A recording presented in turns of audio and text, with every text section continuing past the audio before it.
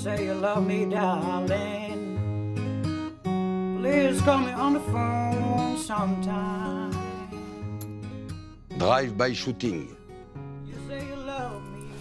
Notre rappeur n'a pas eu le temps de réagir. 1 kg 6. Ah bah il partira à l'esprit léger. When I hear your voice Soyez pas triste pour lui. Il va rejoindre le panthéon des rappeurs assassinés.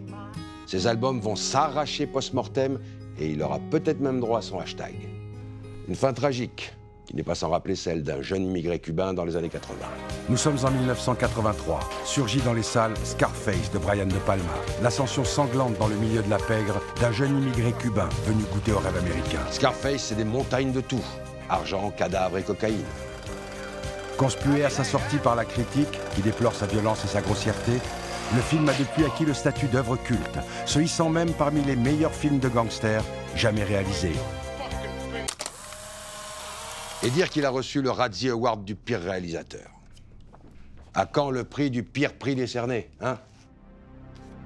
Mais si le film reste encore dans les mémoires, c'est surtout grâce à l'interprétation magistrale d'Al Pacino, qui insuffle au personnage un charisme de tous les instants. Symbole de réussite, Tony Montana est un jeune homme ambitieux qui partira du plus bas pour atteindre le sommet. Mais quand on arrive au sommet, la seule prochaine étape possible, c'est la chute. Tony s'est mis à dos son principal associé, Sosa. Il a refusé de faire exploser la voiture d'un journaliste et sa famille. Un sens moral qui lui coûtera la vie. La scène de mort de Tony Montana est culte à bien des égards. On jubile en voyant le nombre excessif d'hommes envoyés par son ennemi et la puissance de feu que va dégainer Tony. Il abat ses assaillants à la chaîne dans un bain de sang magistral et surréaliste. Steven Spielberg, de passage sur le tournage, a filé un coup de main pour la réalisation de cette scène. Toujours sur les bons coups, ce vieux Steven. Le spectateur espère jusqu'au bout que Tony va s'en sortir.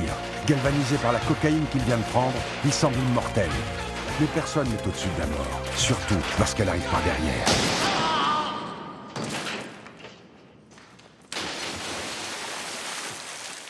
The world is yours. Quelle ironie maintenant qu'il a tout perdu. Et si c'était le contraire? Et si Tony Montana s'était sacrifié pour obtenir quelque chose d'encore plus précieux? Tony attendait la mort dans son bureau. Pour surmonter la douleur, il s'anesthésie à coups de cocaïne. Sa sœur est morte par sa faute. Dévasté, la mort devient son objectif. Il s'arme pour lui faire face. Quand on revoit cette scène, on se rend compte que Tony n'a jamais peur. Il affronte ses ennemis et les balles ne peuvent l'arrêter. Tony appelle la mort, la provoque. Et lorsque celle-ci estime que son temps est venu, elle arrive finalement pour l'emporter. Il peut alors mourir, les bras écartés, tel le Christ, et donner sa vie pour faire passer son message. Après avoir atteint le sommet, il n'a jamais chuté. Il s'est élevé. Tony Montana était un homme. En se sacrifiant, il devient une icône. Tout au long du film, Tony ne faisait que prêcher. Ses répliques aujourd'hui cultes sont désormais paroles d'évangile.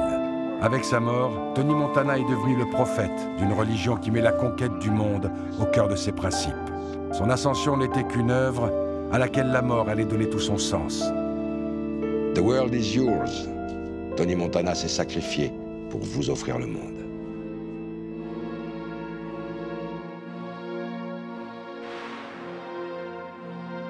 Il aurait pu dire The world is mine, mais son message se veut profondément humaniste.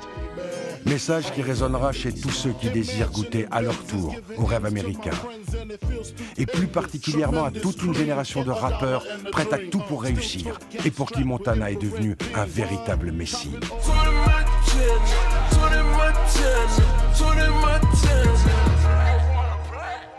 Sans la mort de Tony Montana, on serait sans doute passé à côté de grands morceaux de rap.